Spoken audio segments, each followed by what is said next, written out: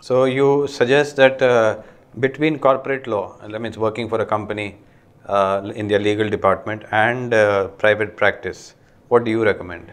It depends. It depends upon the person. Suppose you have already a roaring business by your father, brother, and so on, and then you can go for it. But uh, of late, I am finding corporates are giving a better start just like chartered accountant.